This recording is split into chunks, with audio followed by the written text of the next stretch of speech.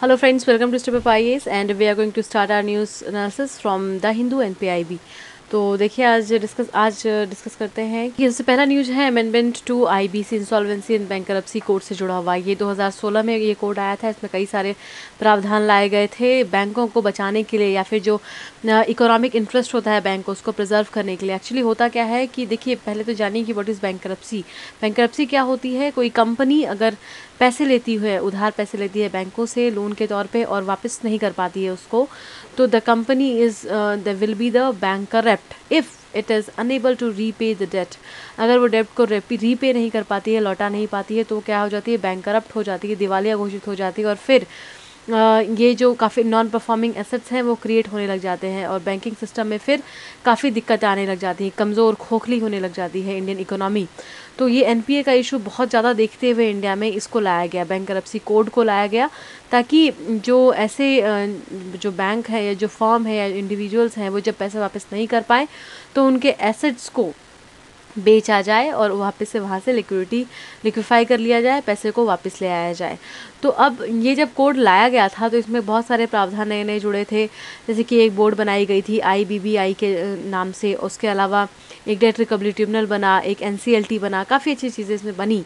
But फिर amendment की ज़रूरत क्यों पड़ी? Why was the amendment needed तो दिक्कत यहाँ पे अब ये हो गई कि ऐसा देखा सरकार ने कि जिस उद्देश्य के लिए बनाया गया था, इस कोड को लाया गया था, वो उद्देश्य पूरा नहीं हो पा रहा था। कहीं ना कहीं जो अब, जो लोग मतलब डिफ़ॉल्ट हो रहे थे, जिनके पैसे डिफ़ॉल्ट, जो डिफ़ॉल्ट कर रहे थे, वो आया गया कि जान डिफ़ॉल्ट कर रहे हैं। क्योंकि जब एसेट्स को बेचने की बारी आती थी तो सबसे पहले जो बैंक या जो भी फर्म है, जो कि डिफ़ॉल्ट हुआ है बैंक हुआ है, वो वही वापस से आकर के उस कंपनी को दोबारा से ओन कर लेते थे, दूसरे स्टेक होल्डर्स के साथ या पैसे लेकर, लगा करके।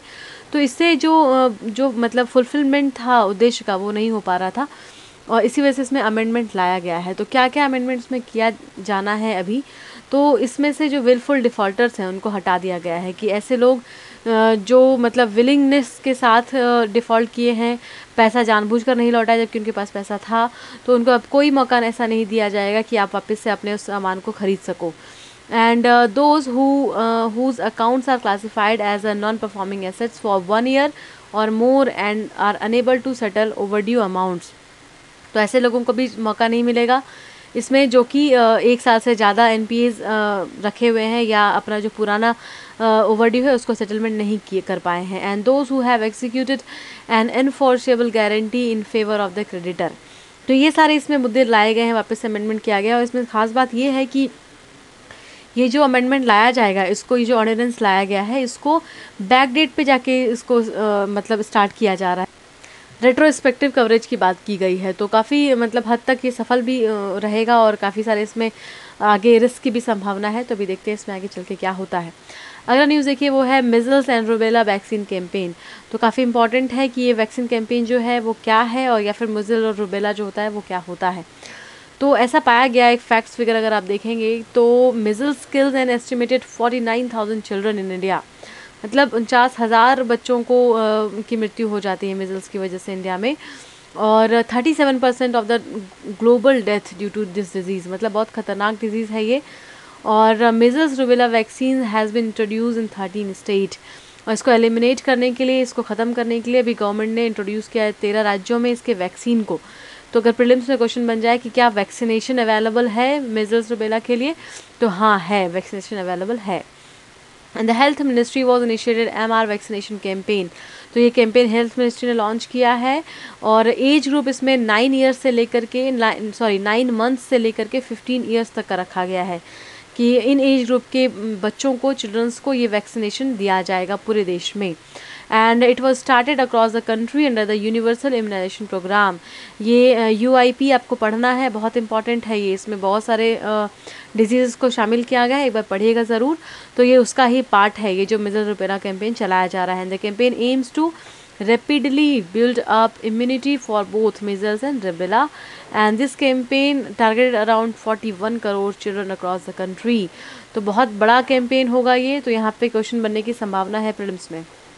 अब अगर मिजल्स और रुबेला की बात करें कि ये क्या होता है तो it is one of the important cause of death in children मतलब बहुत जैसे कि न्यूमोनिया एक बीमारी होती है जिस, जो कि बहुत मेजर रीज़न होते हैं बच्चों के डेथ का। वैसे ये मिजल्स भी होती है and it is highly contagious and spread through the coughing and sneezing मतलब काफ़ी फैलता है ये एक दूसरे से, दूसरे, एक बच्चे, दूसरे बच्चे में। बहुत एक इन्फेक्टेड पर्सनस के स्नीजिंग से भी ये फैल जाता है। And it can also make a child vulnerable to life threatening और कोई छोटी मोटी बीमारी नहीं है, सीधा लाइफ थ्रेटनिंग देती है। And such as diarrhoea pneumonia ऐसी बीमारियाँ symptoms of the infection can include character characts can include cataracts and the deafness it can also affects the heart and brain तो काफ़ी इससे जो दिक्कतें होती हैं, उसकी वजह से हार्ट और ब्रेन पे इम्पैक्ट पड़ता है। And the disease commonly known as German measles और it can have devastating consequences if the pregnant mother is infected तो अगर प्रेगनेंट मदर भी इन्फेक्ट हो जाती है इस बीमारी से तो उससे जो फीटस है, उस पर इम्पैक्ट पड़ता है और काफ़ी सारी और दिक्कतें इसका सामना करना पड़ जाता है। तो नेक्स्ट न्यूज़ देखिए, ये भी इंपॉर्टेंट है which is Haryana first state to threat hepatitis C patient to treat the hepatitis C patient sorry तो यहाँ पे हरियाणा पहला राज्य बन गया, जिसने कि हेपेटाइटिस सी जो पेशेंट हैं, जो उससे ग्रसित थे, उनको ट्रीट किया है। तो ऐसा ये पहला राज्य बना है पूरे भारत देश में। And for the first time the state government has include oral medicine in the government hospital and the medicine would be provided free of cost to the permanent residence of all the categories at the district level तो जो state government है, इसलिए बहुत अच्छा काम कर रही है। Free of cost medicine provide कर रही है पेशेंट्स को। और क्या बेनिफिट हुआ है? तो इससे काफ़ी सारे लोगों को इससे बेनिफिट हुआ है and hepatitis C is a infectious disease cause by the hepatitis C virus याद रखिएगा, यहाँ पे क्वेश्चंस दो तरीके से बन सकते हैं। एक तो पहला राज्य कौन है? गवर्नेंस के एस्पेक्ट से अगर पूछा गया प्रिलिम्स में तो और दूसरा अगर ये पूछा गया कि ये होता कैसे है? Hepatitis C virus bacteria fungi तो ये वायरस से होता है। हेपेटाइटिस सी नाम का वायरस होता है, इसकी वजह से ये होता है और ये लीवर को इफ़ेक्ट करता है, याद रखिएगा। And during the initial infection people often had mild or no symptoms शुरुआत में कोई ऐसा सिम्टम नहीं होता है, लेकिन बाद में चल चल के ये बहुत भयानक रूप ले लेता है और फिर बहुत दिक्कतों का सामना करना पड़ता है लोगों को। तो thank you thank you very much आज के लिए इतना ही था डिस्कशन में और जो भी और इंपॉर्टेंट डिस्कशन है, उसको हम लोग कल फॉलो करेंगे। तो थैंक यू आप लोग न्यूज़ डिस्कशन को देखते रहें सब्सक्राइब करें, अगर पसंद आए तो लाइक भी कर सकते हैं एंड कमेंट करें। तो thank you thank you very much keep stirring